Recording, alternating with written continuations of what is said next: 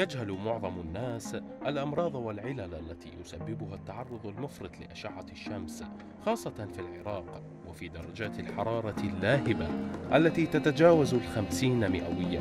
وبرغم الفوائد الصحية التي يحصل عليها الجسم من الشمس مثل فيتامين دي ومنافع نمو العظام وتقويتها إلا أن التعرض الطويل للأشعة فوق البنفسجية من الشمس يمكن أن يتسبب بأضرار خطيرة على الجلد مثل الشيخوخة المبكرة والتجاعيد الحروق بقع الشمس وأنواع مختلفة من سرطان الجلد. ويعد التعرض المفرط لأشعة الشمس من أكبر المسببات لظهور التجاعيد وخاصة إذا لم يتم تطبيق واقي الشمس حيث تتلف أشعة الشمس ألياف الكولاجين المسؤولة عن مرونة الجلد مما يؤدي إلى ترهل الجلد وظهور خطوط التجاعيد. كما تتسبب الشمس بظهور النمش والكلف حيث تقوم الأشعة فوق البنفسجية المنبعثة من الشمس.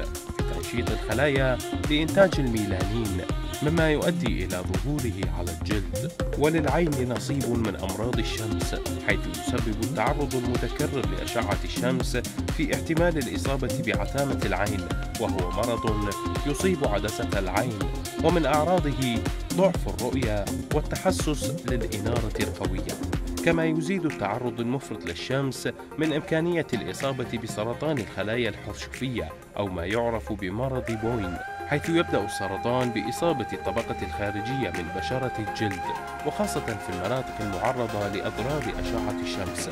وإذا بقي دون علاج فإنه قد ينتشر إلى طبقات داخلية من الجلد وحتى إلى الأعضاء الداخلية. ويوصي الخبراء بتجنب التعرض المباشر لأشعة الشمس خاصة عندما تختلف درجات الحرارة من الخمسين مئوية كما ينصح باستخدام واقي الشمس للحفاظ على البشرة والإكثار من شرب الماء تجنبا لجفاف البشرة